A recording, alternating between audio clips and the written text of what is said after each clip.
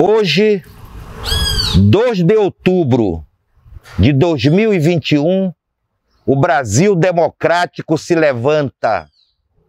E se levanta para dizer fora Bolsonaro.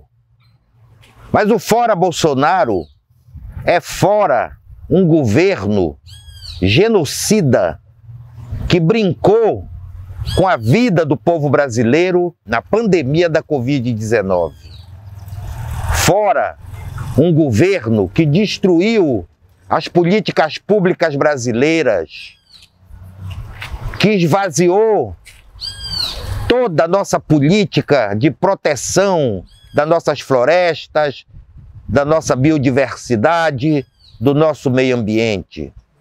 Fora para um governo que atacou a democracia, que atacou o Supremo Tribunal Federal, que ameaçou as liberdades e que ameaçou o povo brasileiro com ditadura jamais admitida pela democracia brasileira.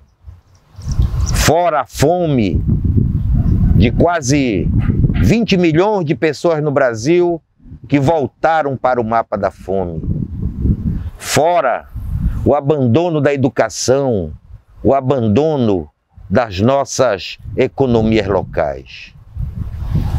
Fora a inflação de quase 10% que está corroendo os salários e a renda do povo brasileiro, em especial das famílias mais pobres.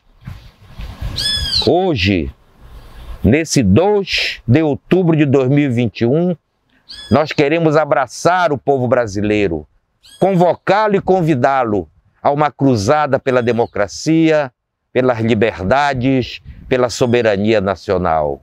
E vamos dizer juntos, numa única voz: Fora Bolsonaro! Fora Bolsonaro!